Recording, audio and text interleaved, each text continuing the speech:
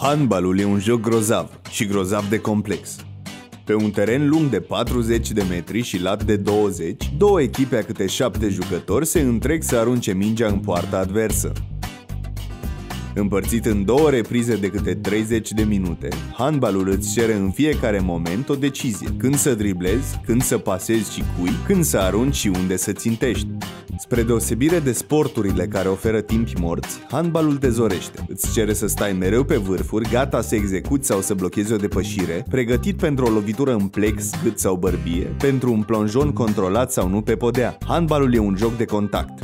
Cheia jocului stă în depășire, procedeul prin care un jucător reușește să se strecoare printre adversari și să arunce mingea în poarta adversă.